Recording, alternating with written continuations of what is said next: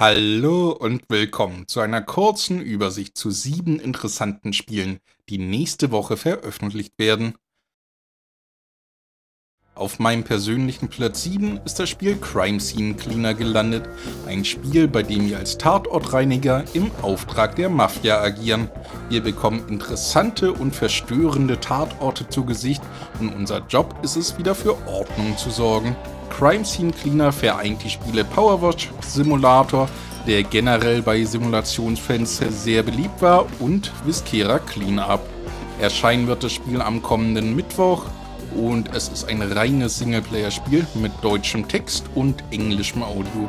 Der Prolog bzw. die Demo, in der man die erste Mission bereits spielen konnte, kam bisher äußerst positiv an. Die Demo ist auch heute noch kostenlos auf Steam spielbar. Das Spiel erscheint für PC und ist auf Steam erhältlich. Dort haben wir auch wertvolle Steam Achievements und vollständigen Controller-Support. Kommen wir zu meinem Platz 6. Operation Polygon Storm. Polygon Storm verspricht ein schnelles, militärisches Strategie- und Tower-Defense-Spiel zu sein, in dem Mikromanagement keine große Rolle spielt. In Polygon Storm werden weder Basen gebaut noch Ressourcen gesammelt. Wir konzentrieren uns lediglich auf den Kampf. Unsere Aufgabe besteht darin, eine strategisch sinnvolle Truppenzusammensetzung zu erreichen. Das lädt natürlich zum Experimentieren ein. Das Spiel erscheint am Montag, dem 12. August und ist auf PC, PS5, Xbox und der Nintendo Switch erhältlich. Es handelt sich um ein reines Singleplayer-Spiel mit deutschem Text und auf dem PC wird es auf Steam, Epic und GOG erhältlich sein. Auf Platz 5 hat es das Spiel Shapes 2 geschafft. Hier handelt es sich um ein mehr oder weniger typisches Fabrikspiel à la Factorio oder Satisfactory. Wir können gigantische Fabriken auf mehreren Ebenen bauen und nach Herzenslust optimieren. Das Spiel erscheint am kommenden Donnerstag auf Steam im Early Access. Es handelt sich um ein reines Singleplayer-Spiel mit deutschem Text und ist nur auf dem PC und auch hier nur auf Steam verfügbar. Aber immerhin sind Mac und Linux zusätzlich zu Windows auch supported. Interessant finde ich hier noch, dass das Spiel vom Bundesministerium für Wirtschaft und Klimaschutz unterstützt wird.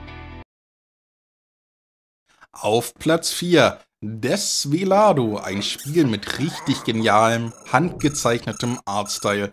Desvelado ist ein 2D-Präzisionsplattformer, bei dem wir als putziger Vampir schwierige Rätsel lösen und tödliche Feinde besiegen müssen, bevor wir in unserem bequemen Sarg schlafen können.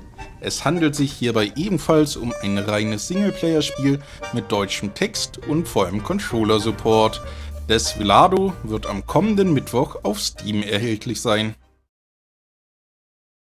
Intravenous 2 auf Platz 3.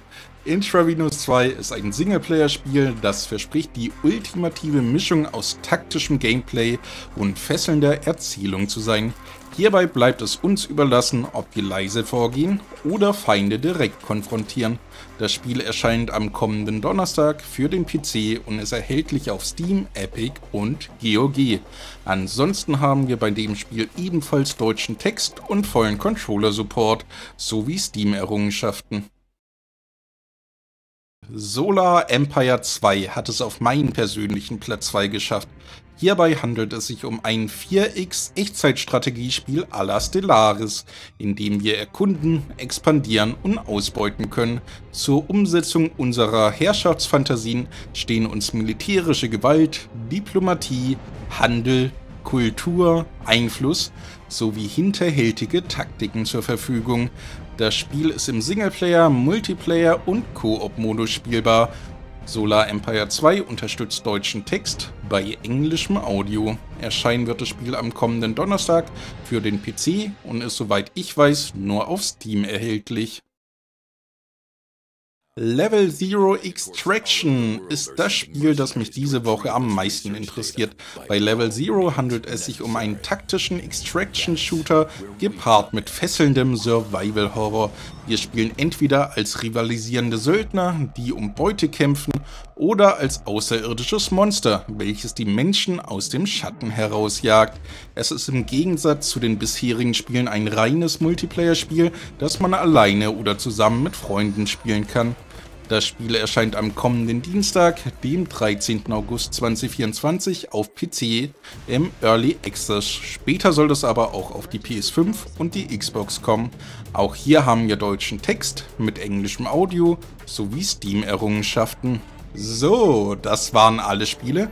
Ich hoffe, euch hat das Video gefallen und ihr habt eventuell auch ein Spiel entdeckt, das ihr ganz interessant findet. Falls ja, schreibt das gerne in die Kommentare. Ich bin da immer ganz besonders neugierig. Ich bedanke mich fürs Zusehen und bis nächsten Sonntag.